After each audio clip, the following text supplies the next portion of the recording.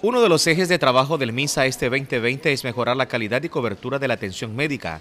Por ello, el Hospital de Referencia Nacional Elín Fonseca fue visitado por el viceministro de Salud para auscultar con los pacientes la manera en que son atendidos. En principio, que el tiempo de espera no sea tan prolongado, ¿verdad?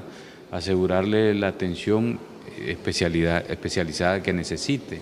Aquí vienen casos de todo el país, pues ahí nos encontramos gente de Ciudad Sandino, gente de Tipitapa que tocaron nuestras unidades por allá, pero que de alguna manera necesitaban de un especialista de este hospital. Y acercándonos nosotros también, ¿verdad?, para poder de alguna manera eh, encontrar cuáles son las debilidades que tenemos como sistema. Pues. Este hospital ha tenido mejoras en infraestructura, lo que conlleva a una mejor atención y comodidad para paciente y acompañante. Ha mejorado la atención pero aún falta. Para mí muy buenas. Yo estoy desde las 6 de la tarde de ayer.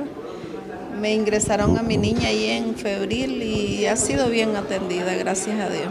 Muy buena. Muy buena, los cuartos, los inodoros sobre todo están limpios y la atención muy buena.